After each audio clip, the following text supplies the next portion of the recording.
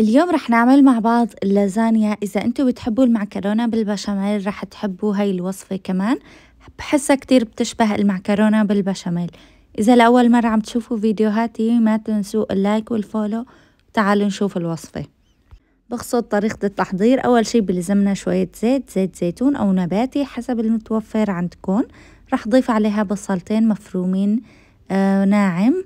أنا فرمتهم بالمكسر. هذا أسهل شي بحسه. رح نقليهم شوي وبس تغير لونها. رح ضيف عليها الخضار عندي جزر مبشور. مع فلفلة خضراء وفلفلة حمراء. أنا هدول آه بضيفهم من عندي بحسها بتعطي طعم كتير لذيذة. وبس تحمصت الخضار رح ضيف عليها اللحمة.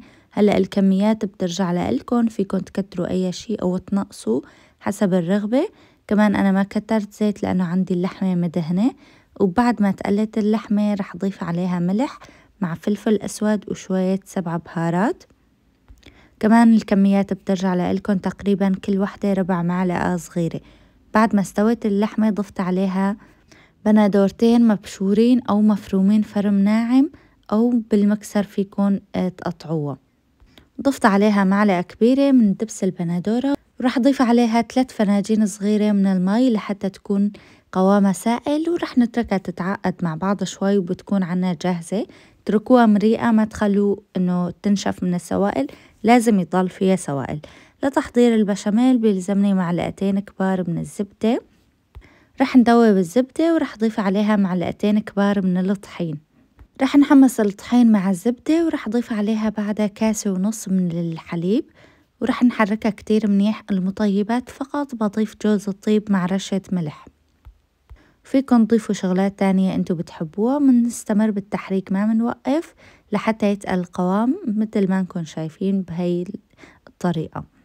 وهون بتجيبوا بايركس أو صينية أي شي عندكم رح ضيف أول طبقة من البشاميل بعدها صلصة اللحمة اللي عملناها وبعدها رح ضيف عليها اللازانيا. أنا ما بسلقها بحطها فوق اللحمة لأنه اللحمة تركت فيها سوائل وكمان البشاميل فيها سوائل.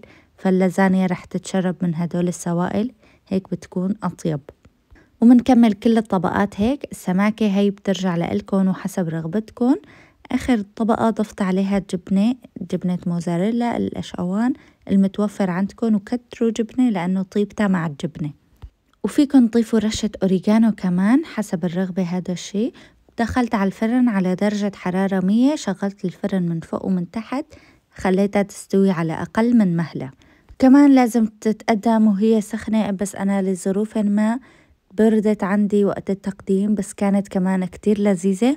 بنصحكم كمان تاكلوها وهي سخنة بتطلع أطيب وهي باردة كمان طيبة بس مشان الشطة والمطة والجبنة وهدول القصص واكتبوا لي انتو كمان بالكومنتات كيف طريقتكم وكيف بتعملوها. هلأ بقلكن سلام.